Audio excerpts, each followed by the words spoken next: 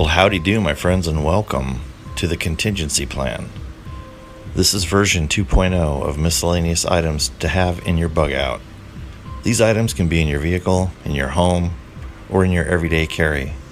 It doesn't matter where you keep them as long as you have them.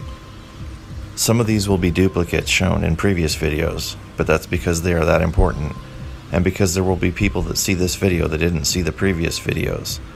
So let's begin, shall we? Handcuff keys. A cheap item that can be hidden in multiple locations. You can get a pack of five for around $5. A power inverter. Everyone should have one of these in their vehicle. A subscriber recently suggested a drywall hammer. Just looking at it, you can see multiple uses for one of these. A hammock. I don't see this mentioned often, but to me, this is a very simple, very inexpensive no brainer. One of the most important aspects of survival is keeping yourself off the ground while sleeping in order to avoid convection, which can kill you. Clearly, this sort of video would not be complete without bolt cutters. Not only will they cut through wire fences, chains, and padlocks, but in a pinch can also be used to beat the hell out of someone. Rope and or paracord. Learn two to three good knots as well, otherwise it's fairly useless. Fire is obviously very important.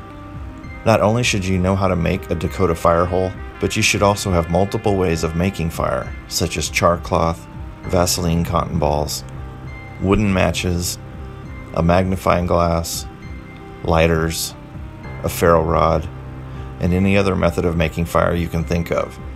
Alternate forms of communication, such as CB radio, ham radio, or even simple two way walkie talkies, something other than your cell phone. A medical supply bag, this should not only contain what you would expect it to, but also items you may not already have in your medical kit, like amoxicillin and colloidal silver. A quality knife, as well as several ways to process firewood. A gas mask and filters. Many people get the wrong idea in regards to gas masks.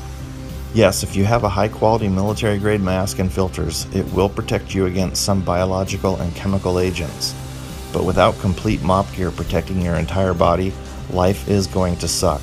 The main purpose of a gas mask is going to be against CS gas, more commonly known as tear gas for obvious reasons if you've ever been subjected to it. In the military, we are forced to go to what is called the gas chamber. I went a total of three times, and while I am not nearly as affected by CS gas as someone who has never been in the military, it's still not a pleasant experience. A gas mask is going to get you out of an area where CS gas has been deployed without the unpleasant side effects associated with it. Several ways to process water. Boiling is always your friend, but if you don't have the time or resources at the moment to boil it, you should have a few alternative ways to make water safe to drink. Maps. I don't care how you do it. Laminate your own, use an atlas, whichever form you prefer. Have maps of relevant areas to where you are and where you plan on going. Even if you know the area very well, a map can show you things you may not be aware of, such as alternate routes. A quality set of optics. I personally prefer a monocular or the scope on a rifle, but have something that allows you to see things at a distance. Have a bag of clothing to change into in case of an emergency. You have no way of knowing when or where an event may go down or what you may be wearing when it does. A bag of clothing, including appropriate footwear, is going to make things much easier on you. An AR or other high capacity long gun.